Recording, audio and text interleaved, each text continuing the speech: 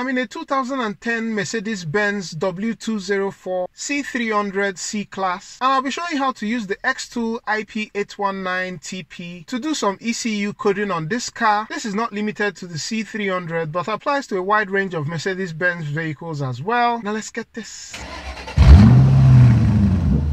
Coding refers to the process of configuring settings and options in the ECU software, which are typically not available to the car user except through use of scan tools that support ECU coding. To begin, you just click on Diagnosis, select Mercedes-Benz, and I'll do an automatic detection. It decodes the VIN, and I click OK. System selection, which gives you access to the different modules, and then we'll start with the drive system. And under that, I'll select Motor Electronics, Special Functions, Configuration, and then coding. And lastly, you just click on display coding data and it gives you a plethora of data points which can be coded depending on what is installed or not installed on the car. Many of these variables may not necessarily make sense to the average car user. Mercedes-Benz have often been accused of over-engineering, but what that does is that it gives us a lot of options in terms of things to code. For example, you can alter gear ratios if you know what you're doing. But just to demonstrate the coding process, if I click on this fan run on you can see that it states that it's not activated and if I click on edit I can click on the drop down arrow and activate this feature and then click OK and you're done. I'm just going to set it back to inactive.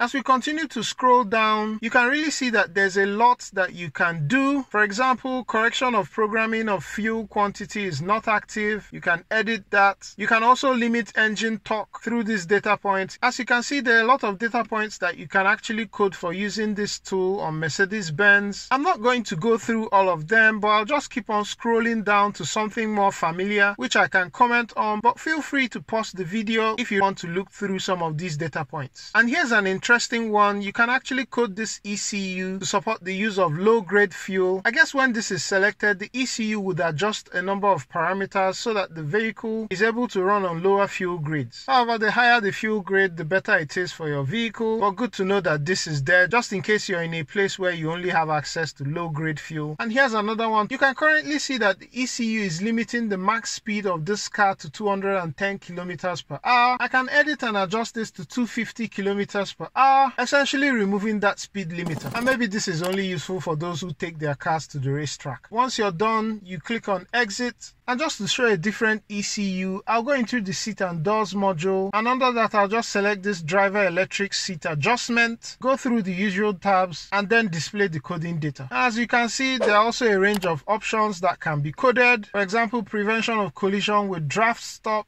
head restraint presetting, easy entry and exit, and the other data points that you can see listed there. One other thing I should state at this point is that I tried coding other ECUs on this car. However, the connection to the ECUs kept on failing, which is a common issue that I've found in some Mercedes-Benz, especially as they age. It's also possible that some of these ECUs are not equipped since this is a C-class and not the top of the line S-class. At this point, what I should have done was to run an all system scan, or if your scanner supports the the topology scan, you can use that to determine ECUs that are equipped. However, I only had this car for a limited amount of time, and if you know a thing or two about scanning Mercedes-Benz, all system scans usually take a long while, which I couldn't do on this occasion. If you've really enjoyed this, do consider liking and subscribing to the channel, and I'll catch you on the next one. Peace!